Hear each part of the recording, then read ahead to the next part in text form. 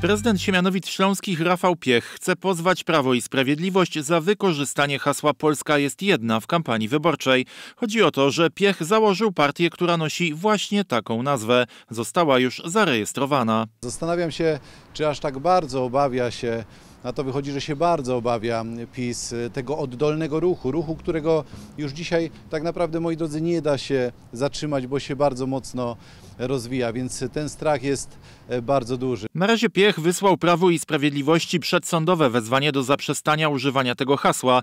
PiS zaczęło go używać w miniony weekend, kiedy w Janowie Lubelskim rozpoczęła się seria spotkań podsumowujących 8 lat rządów tej partii. Mamy szansę, tak jak to niedawno mówił szef angielskiej Labour Party, mówił to z przerażeniem, ale my nie mamy powodu się z tego powodu przerażać, że w 30 roku polska rodzina będzie miała więcej niż angielska.